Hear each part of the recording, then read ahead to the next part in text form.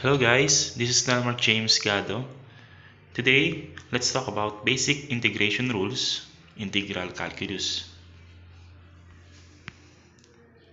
So we have here six uh, basic integration rules. Okay, number one is the integral of du is equal to u plus c.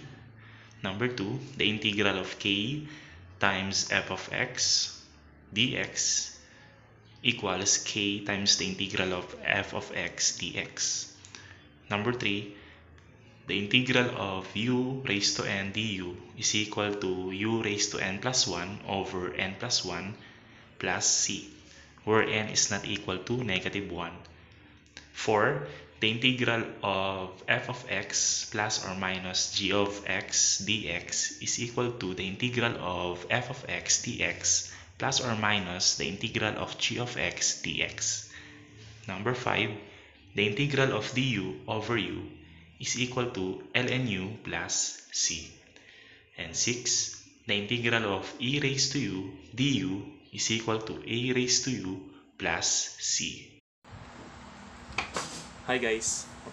Uh, bago ako magsimula sa aking mga examples, pag narinig mo yung salita, uh, yung word na integration, ano bang ibig sabihin nun? Integration, ibig sabihin nito, ito yung reverse process ng pagku ang reverse process pagkuha ng function kung given yung ating mga derivatives. 'Di ba sa uh, differentiation, ginagawa natin given yung derivative, uh, given yung function tapos kinukuha natin yung derivatives. Dito, given yung derivatives, kukunin natin yung pinaka uh, function niya, original function niya no? using yung integration, yung process ng pagkuha ng antiderivative. Okay?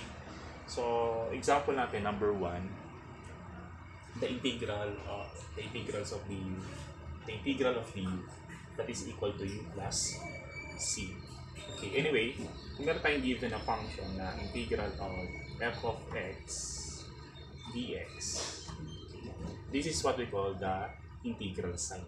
Okay, this is the integral sign. Okay?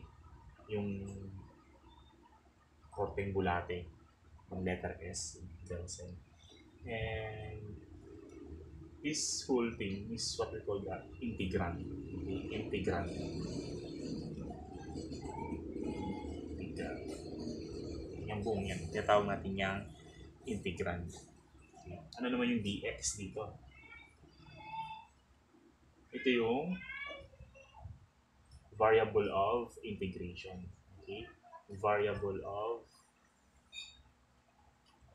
integration. Okay? So, yung buong yan, integrand, integral sign, this is variable of integration.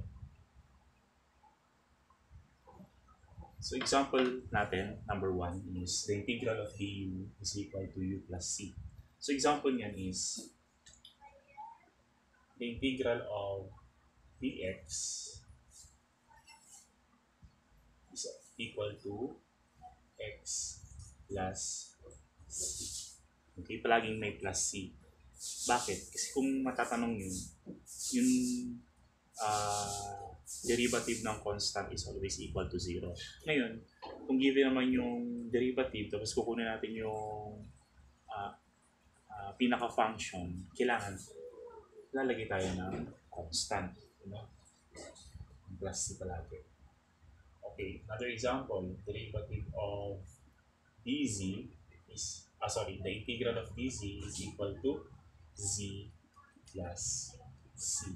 Kung mapansin nyo dito, dito sa ating integral, meron niya imaginary na 1. Okay, example number 2 natin is the integral of u raised to n with respect to u is equal to u raised to n plus 1 over n plus 1 plus c. Okay?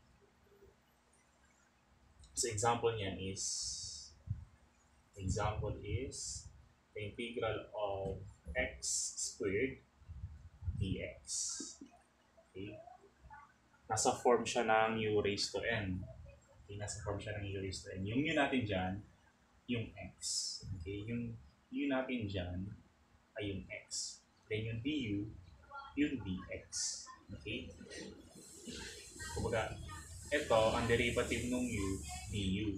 Ang derivative ng x, dx. Okay? Then yung ating n is 2. Yung ating n is 2. So,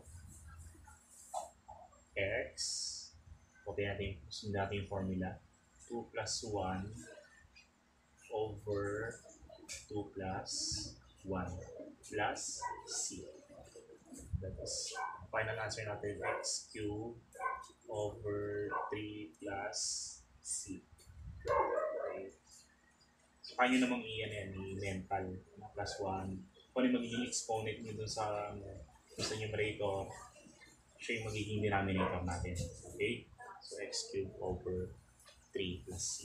Another example niyan, another example is, yan, x raised to negative, the integral of x raised to negative 4 with respect to x, that is equal to, okay, that's equal to mm, x raised to negative 4 plus 1 over negative 4 plus 1 plus c. Then simplify x raised to negative 3 over negative 3 plus c. Kung gusto nyo, ang gawing na negative yung exponent sa numerator, ibaba nyo lang.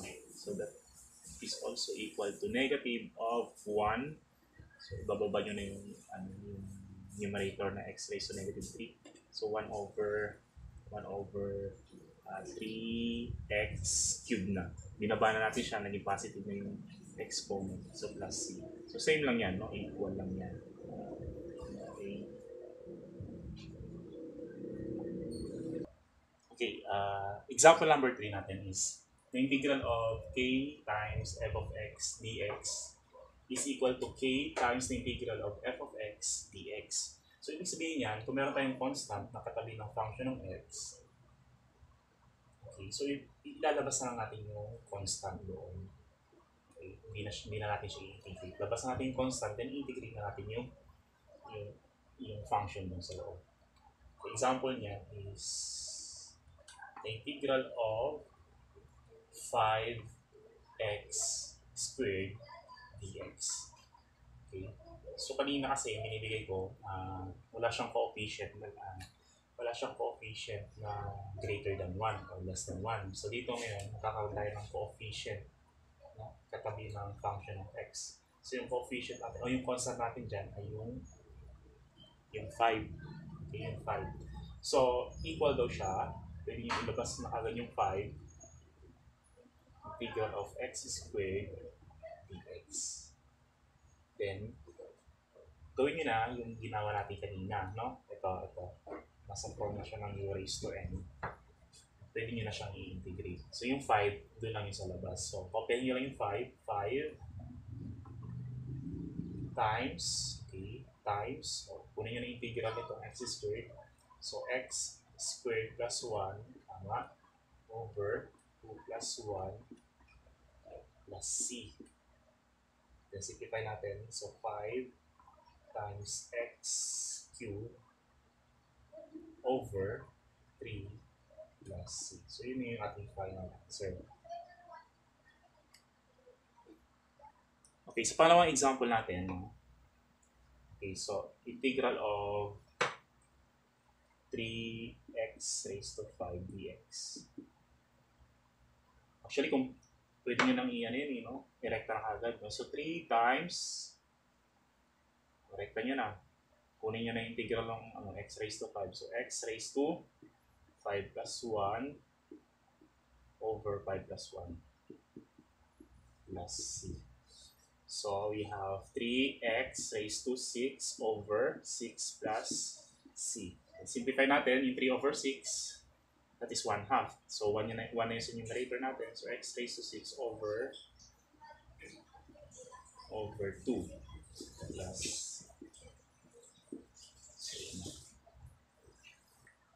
Okay, rule number 4 natin is the integral of f of x plus or minus g of x okay, with respect to x, natin, kalimutan ko, is equal to the integral of f of x dx plus or minus the integral of g of x dx.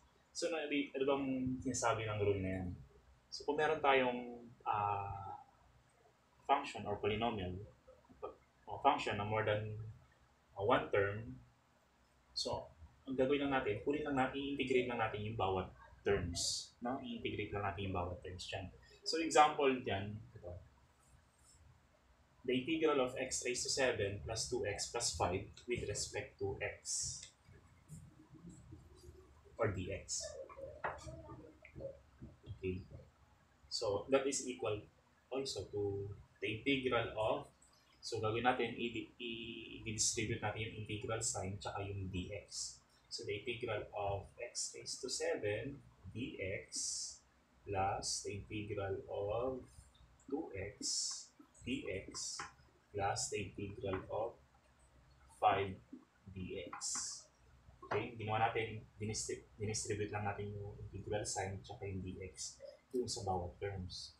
Then, saka na natin siya pwedeng i-integrate no? using yung, yung mga rules kanina na binigay natin. Okay, dito, yung power formula, di ba?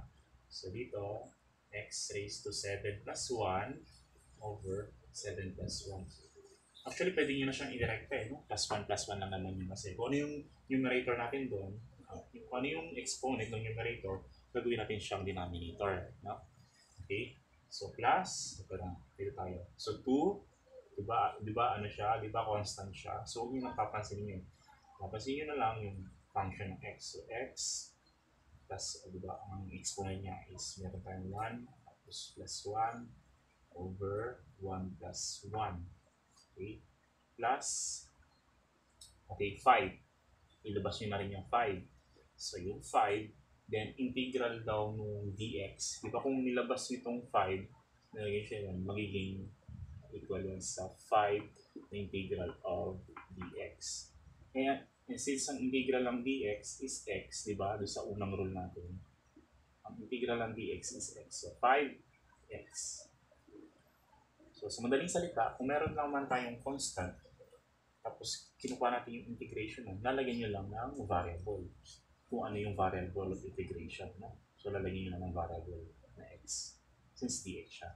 Tapos, huwag niyo kakalimutan palagi yung plus c natin. So, saka na natin siya uh, simplify. Simplify natin. So, x raised to 8 over 8 plus, okay, so 1 plus 1 is 2. Meron tayong tools na numerator, so cancel lang natin yun. So, matitira na lang is x 8 squared plus 5x plus c. So, ito yung final answer natin. Okay, para sa last example natin dito sa rule na to, so another is the integral of 6x squared minus 4x plus 10 dx. So, gawin nyo lang, kunin nyo lang yung integral ng bawat terms. Okay, so we have the integral of, so kung nire-write natin siya, distribute lang yung integral sign tsaka yung dx. So, the integral of 6x squared dx minus the integral of 4 x dx plus integral of 10 dx. Okay? Then, kung may, may, may mga constant man, di ba? Pwede natin siyang ilabas. No? Doon sa rule number rule number 3 natin. Okay, so 6, the integral of x squared dx minus 4, the integral of x dx plus 10, the integral of dx.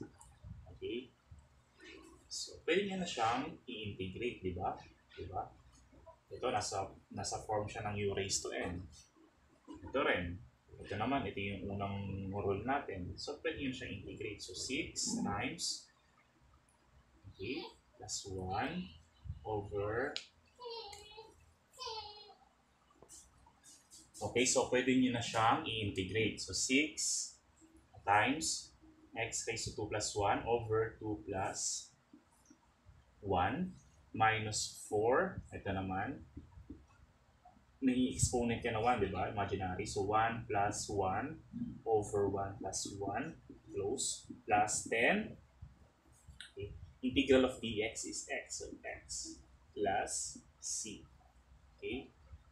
Then, simplify natin. 2 plus 1 is 3. And 6 divided by 3 is 2. So 2x cubed. Okay.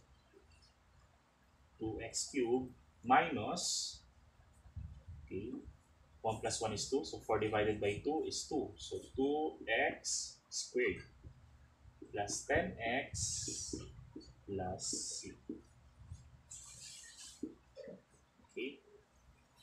Hope you like my math video tutorial. And that's all. Thank you.